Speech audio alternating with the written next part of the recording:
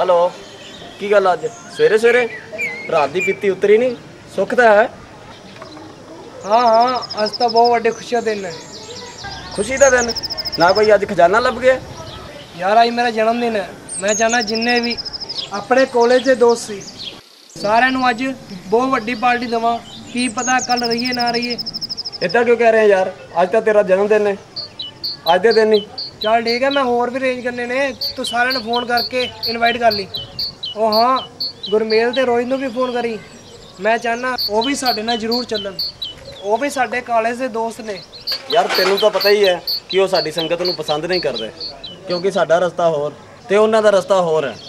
ਮੈਨੂੰ ਪਤਾ ਹੈ ਉਹ ਸਾਡੇ ਬੁਰੇ ਕੰਮਾਂ ਤੋਂ ਨਫ਼ਰਤ ਕਰਦੇ ਹਨ। ਲੇਕਿਨ ਤੂੰ ਉਹਨਾਂ ਨੂੰ ਜ਼ਰੂਰ ਲੈ ਕੇ ਆਣਾ ਹੈ। ਹਲੋ ਹੈਲੋ ਹਾਂ ਭਾਈ ਗੁਰਮੇਲ ਮੈਂ ਸੁਖਦੇਵ ਬੋਲ ਰਿਹਾ। ਹੋਰ ਕੀ ਹਾਲ ਹੈ? ਹਾਂਜੀ ਬਹੁਤ ਵਧੀਆ ਜੀ। ਅੱਜ ਗਰੀਬਾਂ ਦੀ ਕਿਵੇਂ ਯਾਦ ਆ ਗਈ? ਯਾਦ? ਨਹੀਂ ਉਹ ਭੁੱਲਿਆ। ਯਾਦ ਤਾਂ ਤੈਨੂੰ ਹਰ ਵਕਤ ਰੱਖੀਦਾ। ਅੱਜ ਰਜੇਸ਼ ਦਾ ਜਨਮ ਦਿਨ ਹੈ। ਅੱਛਾ ਇਹ ਤਾਂ ਬਹੁਤ ਖੁਸ਼ੀ ਦੀ ਗੱਲ ਹੈ। ਚਲੋ ਮੇਰੇ ਵੱਲੋਂ ਉਹਨੂੰ ਹੈਪੀ ਬਰਥਡੇ ਕਹਿ ਦਿਓ। ਨਹੀਂ ਯਾਰ ਉਹ ਚਾਹੁੰਦਾ ਹੈ ਕਿ ਤੂੰ ਤੇ ਰੋਹਿਤ ਵੀ ਉਹਦੀ ਪਾਰਟੀ ਵਿੱਚ ਸ਼ਾਮਿਲ ਹੋਵੋ। ਯਾਰ ਤੁਹਾਡਾ ਤੇ ਸਾਡਾ ਕਾਹਦਾ ਮੇਲ? ਤੁਸੀਂ ਮਾਸਾਹਾਰੀ ਤੇ ਤੁਸੀਂ ਸ਼ਾਕਾਹਾਰੀ। ਛੱਡ ਯਾਰ ਅਸੀਂ ਤਾਂ ਤੁਹਾਨੂੰ ਨਾਲ ਲੈ ਕੇ ਜਾਣ ਵਾਸਤੇ ਹੀ ਕਹਿ ਰਹੇ ਹਾਂ। ਨਾ ਕਿ ਤੁਹਾਨੂੰ ਕੁਝ ਗਲਤ ਖਾਣ ਪੀਣ ਵਾਸਤੇ ਕਹਿ ਰਹੇ ਹਾਂ। ਚਲ ਠੀਕ ਹੈ। ਅੱਛਾ ਰੋਹਿਤ ਨੂੰ ਵੀ ਜ਼ਰੂਰ ਲੈ ਕੇ ਆਈ। ਠੀਕ ਹੈ ਜੀ।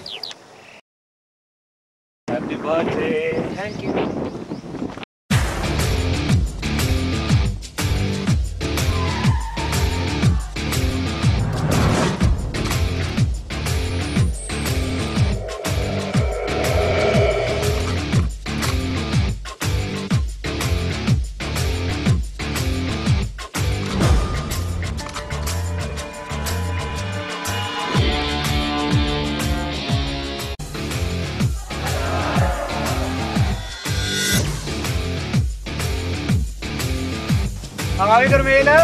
ਯਾਰਾ ਭਾਈ ਵਧੀਆ। ਹੋਰ ਹੈਪੀ ਬਰਥਡੇ ਯਾਰ ਮੈਂ ਬਹੁਤ ਖੁਸ਼ ਹਾਂ ਤੁਸੀਂ ਮੇਰੀ ਪਾਰਟੀ ਸ਼ਾਮਿਲ ਹੋਏ। ਸੱਚ ਅੱਜ ਬਹੁਤ ਆਨੰਦ ਆਵੇਗਾ।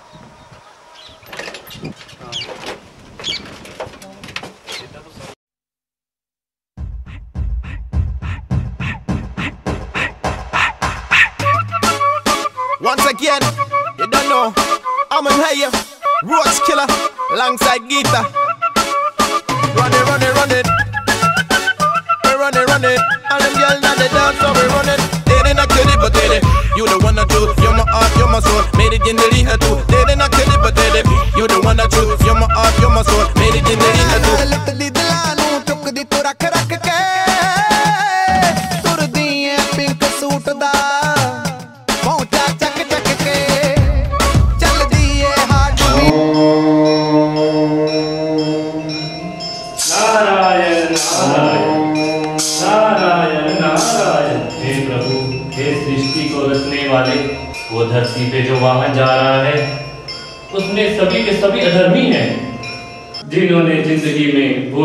भी कोई अच्छा काम नहीं किया।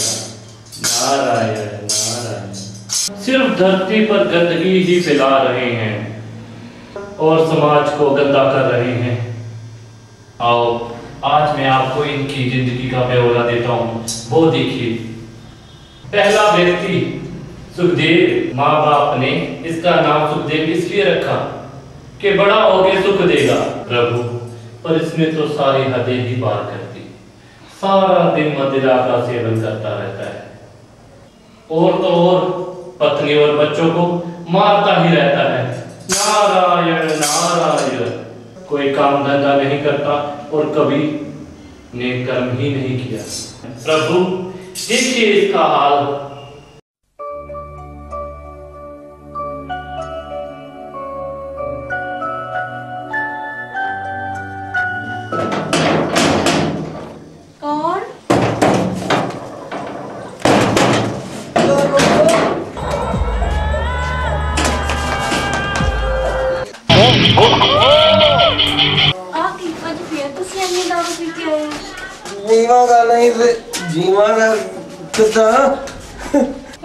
ਸ਼ਰਾਬ ਹੀ ਚਾਹੀਦੀ ਹੈ। ਤੁਸੀਂ ਤਾਂ ਇਹ ਵੀ ਭੁੱਲ ਗਏ ਹੋ ਕਿ ਤੁਹਾਡੀਆਂ ਦੋ ਕੁੜੀਆਂ ਵੀ ਨੇ। ਹੋਰ ਨਹੀਂ ਤਾਂ ਇਹਨਾਂ ਦਾ ਧਿਆਨ ਤਾਂ ਰੱਖੋ ਹੁਣ ਉਹ ਵੱਡੀਆਂ ਹੋ ਰਹੀਆਂ ਨੇ। ਪੜ੍ਹਾਈ ਦੇ ਨਾਲ ਨਾਲ ਉਹਨਾਂ ਦਾ ਵਿਆਹ ਵੀ ਕਰਨਾ ਹੈ। ਜੀਵਾਂਗਾ ਤੇ ਵਿਆਹ ਦੇਖਾਂਗਾ। ਜਾ ਜਾ ਕੇ ਰੋਟੀ ਲੈ ਕੇ ਆ। ਜੀ ਬਸ ਹੋਰ ਨਾ ਪੀਓ ਤੁਸੀਂ ਪਹਿਲਾਂ ਹੀ ਬਹੁਤ ਪੀਤੀ ਹੋਈ ਜੇ ਤੁਹਾਨੂੰ ਕੁਝ ਹੋ ਗਿਆ ਤਾਂ ਸਾਨੂੰ ਕੌਣ ਸੰਭਾਲੇਗਾ? ਤੁਹਾਡੇ ਬਿਨਾਂ ਇਸ ਦੁਨੀਆ ਵਿੱਚ ਸਾਡਾ ਰਹਿ ਕੌਣ ਹੈ? कौन जिसका कोई नहीं उसका खुदा यारो मैं नहीं कहता किताबों में लिखा है यारो नारा है, नारा है। चलो अंदर मैं रोटी पका चलो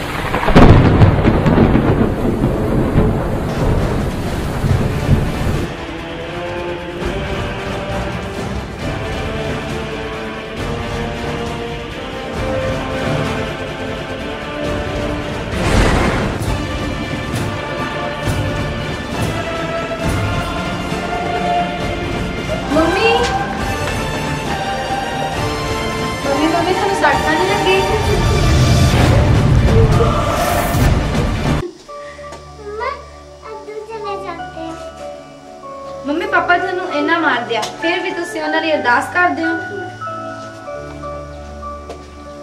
ਹਾਂ ਧੀਏ ਔਰਤ ਜੋ ਹੋਈ। ਔਰਤ ਤਾਂ ਹਮੇਸ਼ਾ ਹੀ ਮਰਦ ਦੀ ਗੁਲਾਮ ਰਹੀ। ਨਹੀਂ ਮੰਮੀ ਸੋਨੂ ਦੀ ਮਾਂ ਨੂੰ ਵੀ ਤਾਂ ਉਸਦੇ ਪਾਪਾ ਮਾਰਦੇ ਸੀ। ਉਹ ਵੀ ਤਾਂ ਘਰ ਛੱਡ ਕੇ ਨਾਨੀ ਘਰ ਚਲੇ ਗਏ। ਨਹੀਂ ਧੀਏ ਔਰਤ ਦਾ ਘਰ ਤੇ ਉਹੀ ਹੁੰਦਾ ਹੈ ਜਿੱਥੇ ਉਹਦੇ ਮਾਪਿਓ ਨੂੰ ਵਿਆਹ ਕੇ ਭੇਜਦੇ ਬਸ ਮੇਰੀ ਤਾਂ ਅੱਖੀ ਹੀ ਅੱਖੋਂ ਨਿਕਲ ਗਈ ਅੱਜ ਕੱਲ ਤਾਂ ਭਰਾ ਭਰਜਾਈਆਂ ਵੀ ਤਾਨੇ ਦਿੰਦੇ ਹਾਂ, ਬਸ। ਵਾਹਿਗੁਰੂ ਮੇਰੀ ਇੱਕ ਨਾ ਇੱਕ ਦਿਨ ਅਰਦਾਸ ਜ਼ਰੂਰ ਸੁਣੇਗਾ ਤੇ ਇਹਨਾਂ ਨੂੰ ਸਿੱਧੇ ਰਸਤੇ ਜ਼ਰੂਰ ਲੈ ਕੇ ਆਏਗਾ। ਹਾਂਜੀ, ਮੰਮੀ, ਅਸੀਂ ਵੀ ਪਾਪਾ ਵਾਸਤੇ ਜ਼ਰੂਰ ਅਰਦਾਸ ਕਰਾਂਗੇ ਚਲੋ ਮੰਮੀ, ਪਾਪਾ ਨੂੰ ਰੋਟੀ ਖਵਾ ਦੇਂਗੇ ਪਰ ਤੁਸੀਂ ਪਾ ਕੇ ਦੇ ਦਿਓ, ਮੈਂ ਦੇ ਆਵਾਂ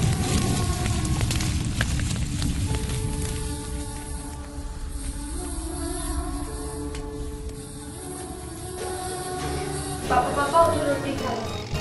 ਮੇਰੀ ਸਾਰੀ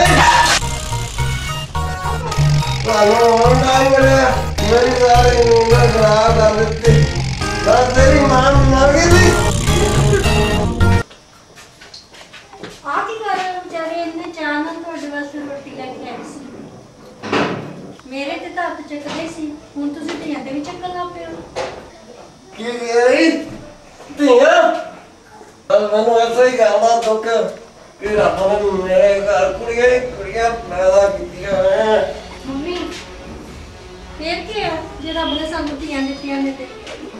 ਇਹਨਾਂ ਵਿੱਚ ਵੀ ਤਾਂ ਆਤਮਾ ਹੈਗੀ ਹੈ ਨਾਲੇ ਅੱਜ ਕੱਲ ਕੁੜੀਆਂ ਵੀ ਮੁੰਡਿਆਂ ਤੋਂ ਘੱਟ ਨਹੀਂ ਹੈ ਇਹ ਤਾਂ ਫਿਰ ਵੀ ਮਾਂ-ਬਾਪ ਦਾ ਭਲਾ ਹੀ ਸੋਚਦੀਆਂ ਭਲਾ ਸੋਚਦੀਆਂ ਨੇ। ਜਾਂ ਜਾ ਉਹਨਾਂ ਨੂੰ ਮੇਰੀ ਅੱਖਾਂ ਦੇ ਸਾਹਮਣੇ। ਜਾਂ ਲਫਾ ਹੋ ਜਾ। ਤੂੰ ਨਹੀਂ ਪਾਪਾ ਨਹੀਂ ਪਾਪਾ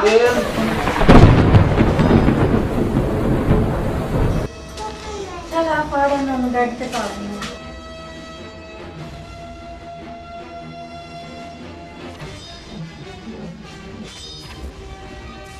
ਚਲੋ ਜੀ ਇਹਨਾਂ ਨੂੰ ਆਰਾਮ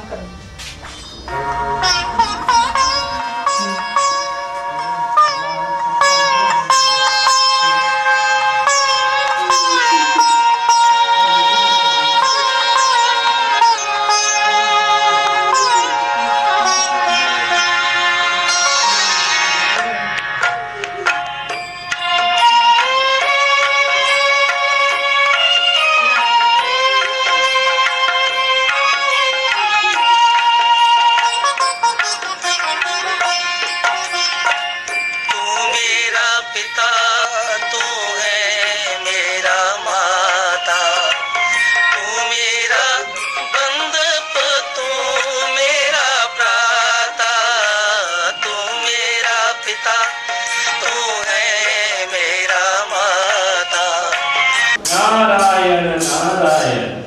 ये, यह अपने शहर का माना हुआ ठग है। अखबारों में अपने झूठे इश्तेहार देकर भोले भाले लोगों को विदेश जाने के नाम पर पैसे बटोरता है। नारायण नारायण। वहाँ पर नौकरी दिलाने का झांसा देता है। विदेश में काम तो गया, वहाँ तो उनको एक वक्त की रोटी भी नसीब नहीं होती। वहाँ उनकी स्थिति ऐसी हो जाती है, जैसे मानो धोबी का कुत्ता घर ना घर का ऐसे हालातों में तो कई लोग खुदकुशी भी कर लेते हैं।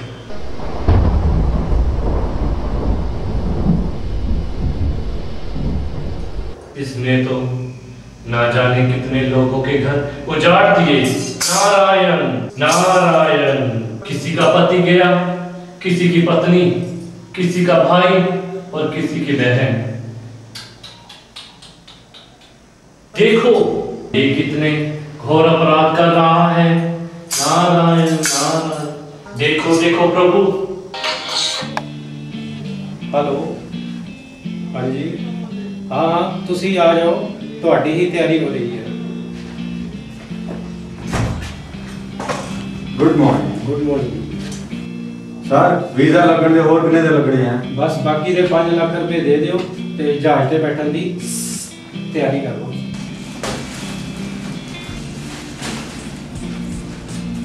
ਆ ਲਓ ਇਹ ਪੂਰੇ 5 ਲੱਖ ਆਪ ਹੀ ਗਿਣ ਲਓ। ਆ। ਬਸ ਫਲਾਈਟ ਦੀ ਤਰੀਕ ਆ। ਬੈਠੋ। ਠੀਕ ਹੈ ਤੁਸੀਂ 2 ਲੱਖ ਰੁਪਏ ਦਾ ਹੋਰ ਇੰਤਜ਼ਾਮ ਕਰ ਲੈਣਾ ਤਾਂ ਕਿ ਉੱਥੇ ਜਾ ਕੇ ਉਹਨਾਂ ਉੱਤੇ ਕੋਈ ਮੁਸੀਬਤ ਨਾ ਆ ਜਾਏ ਮੁਸੀਬਤ। ਮੇਰੇ ਕਹਿਣ ਦਾ ਮਤਲਬ ਹੈ ਕਿ ਉਹਨਾਂ ਕੋਲ ਜੇਬ ਖਰਚਾ ਵੀ ਹੋਣਾ ਚਾਹੀਦਾ ਹੈ। ਠੀਕ ਹੈ ਜੀ। ਅਸੀਂ ਹੁਣ ਚੱਲਦੇ ਹਾਂ। ਯਾਰ ਤੂੰ ਪੈਸੇ ਵੀ ਨਹੀਂ ਗਿਣੇ ਤੇ ਉਹਨਾਂ ਨੂੰ ਜਾਣ ਦੇਤਾ। ਪੈਸੇ ਗਿਣਨ ਦੀ ਕੀ ਲੋੜ ਹੈ? ਜੇ 5-10 ਹਜ਼ਾਰ ਘੱਟ ਵੀ ਹੋਵੇ ਤਾਂ ਮੇਰੇ ਪਿਓ ਦਾ ਕੀ ਜਾਂਦਾ ਹੈ? ਮੈਂ ਕਿਹੜਾ ਖੇਤੀ ਬੀਜੀ ਸੀ ਨਾਲੇ ਪਾਰਟੀ ਦੇ ਇੰਪ੍ਰੈਸ਼ਨ ਰੱਖਣਾ ਹੀ ਪੈਂਦਾ ਹੈ। ਚੱਲ ਤੂੰ ਸੁਣਾ ਅੱਜ ਕਿਵੇਂ ਆਣਾ ਹੋਇਆ। ਚਲ ਮੈਂ ਗਿਆ ਆਪਣੇ ਯਾਰ ਦੋਸਤ ਕੋਲ ਜਾ ਕੇ ਗੱਪਾ ਸ਼ੱਪਾ ਮਾਰ ਆਈਏ ਇੱਕ ਗੱਲ ਕਵਾਂ ਤੂੰ ਹੈ ਉਹ ਵੱਡਾ ਠੱਗ। ਮੁਰਗੀ ਫਸਾਣੀ ਹੋਵੇ ਤਾਂ ਕੋਈ ਤੇਰੇ ਕੋਲ ਹੀ ਸਿੱਖੇ। ਦੂਜਿਆਂ ਦੀ ਥਾਲੀ ਦਾ ਲੱਡੂ ਵੱਡਾ ਹੀ ਲੱਗਦਾ। ਨਾਲੇ ਤੂੰ ਕਿਹੜਾ ਘੱਟ ਕਰਦਾ ਹੈ? ਕੈਪਸੂਲ ਗਾਂਜਾ ਇੰਜੈਕਸ਼ਨ ਕੋਕੇਨ ਵਰਗੇ ਨਸ਼ੇ ਕਰਵਾ ਕਰਵਾ ਕੇ ਬੰਦਿਆਂ ਨੂੰ ਆਪਣੇ ਵਸ ਵਿੱਚ ਕਰੀ ਜਾਂਦਾ ਹੈ। ਚੱਲ ਯਾਰ ਤੂੰ ਤਾਂ ਮੇਰੇ ਕੋਲ ਹੀ ਫੋਟੋ ਲੱਗ ਗਿਆ। ਹੁਣ ਪਤਾ ਲੱਗਾ ਕਿਸੇ ਨੂੰ ਕਹਿਣ ਤੋਂ ਪਹਿਲਾਂ ਆਪਣੀ ਮੰਜੀ ਥੱਲੇ ਝਾਕਣਾ ਚਾਹੀਦਾ। ਨਾਲੇ ਕੋਈ ਅੱਜ ਕੱਲ ਕੋਈ ਵੱਡਾ ਠੱਗ ਤੇ ਕੋਈ ਛੋਟਾ। ਯਾਰ ਅੱਜ ਫਿਰ ਅਖਬਾਰ ਚ ਆਇਆ ਹੈ ਕਿ ਵਿਦੇਸ਼ ਵਿੱਚ ਨੌਕਰੀ ਨਾ ਮਿਲਣ ਕਾਰਨ ਇੱਕ ਔਰਤ ਅਤੇ ਲੜਕੇ ਨੇ ਖੁਦਕੁਸ਼ੀ ਕਰ ਲਈ। ਸਾਡੇ ਧੰਦੇ ਦੀਆਂ ਖਬਰਾਂ ਪੜਦਾ ਹੈ। ਨਸ਼ੇ ਨਾਲ ਮਰਨ ਵਾਲਿਆਂ ਦੀ ਗਿਣਤੀ ਨਹੀਂ ਕੀਤੀ। ਯਾਰ ਦੇਰ ਤੂੰ। ਨਾਲੇ ਇਹੋ ਜਿਹੀਆਂ ਖਬਰਾਂ ਤਾਂ ਰੋਜ਼ ਆਉਂਦੀਆਂ ਨੇ। ਅਸੀਂ ਕੀ ਲੈਣਾ? ਕੋਈ ਖੁਦਕੁਸ਼ੀ ਕਰੇ ਜਾਂ ਭੁੱਖਾ ਮਰੇ? ਸਾਨੂੰ ਤਾਂ ਬਸ ਪੈਸੇ ਨਾਲ ਹੀ ਮਤਲਬ ਹੈ। ਬਸ ਪੈਸੇ ਨਾਲ। ਪੈਸਾ ਹੀ ਬਲਵਾਨ ਹੈ। ਪੈਸਾ ਹੀ ਭਗਵਾਨ ਚੱਲ ਅੱਜ ਮੈਂ ਤੈਨੂੰ ਮੁਰਗੇ ਦੇ ਨਾਲ ਨਾਲ ਵਿਦੇਸ਼ੀ दारू ਵੀ ਪਿਲਾਣਾ ਵਾ नारायण नारायण इसने तो ना जाने कितने लोगों के घर उजाड़ दिए नारायण नारायण ये बैठे हैं डॉक्टर महाजन साहेब ਉਹ ਦਿਨ ਵੀ ਨਹੀਂ ਆਪਣਾ ਤੇ ਰਾਤ ਵੀ ਨਹੀਂ ਆਪਣੀ ਕਰੀਏ ਕੀ ਹੁੰਗਾਰਾ ਜਦੋਂ ਬਾਤ ਵੀ ਨਹੀਂ ਆਪਣੀ। ਖੇਡਾਂ ਖੇਡਦੀ ਖਿਡੌਣੇ ਵਾਂਗੂ ਗੁੱਡੀਏ ਨਹੀਂ ਇੱਕ ਦਿਨ ਟੁੱਟ ਜਾਏਗੀ ਕਾਤੋਂ ਆਈ ਏ ਗਰੀਬ ਤੇ ਜਵਾਨੀ ਏ ਨਹੀਂ ਫਿਕਰਾਂ ਚ ਮੁੱਕ ਜਾਏਗੀ। ਕਾਤੋਂ ਆਈ ਏ ਗਰੀਬ ਤੇ ਜਵਾਨੀ ਏ ਨਹੀਂ ਫਿਕਰਾਂ ਚ ਮੁੱਕ ਜਾਏਗੀ। ਨਾਰਾਇਣ ਨਾਰਾਇਣ। यह अपने शहर का माना हुआ डॉक्टर है। कैसे हैं? डॉक्टर भगवान का दूसरा रूप होता है। मगर ये तो भगवान के रूप में शैतान है। इसने तो अनेकों लड़कियों को जन्म लेने से पहले ही मार दिया। लोगों में तो इसकी छाया अच्छी बनी हुई है, लेकिन यह तो एक छिपा हुआ कातिल है। पर इसको ये नहीं पता कि इसके छुप कर किए गए अपराधों को इंसान नहीं तो भगवान तो देख रहा है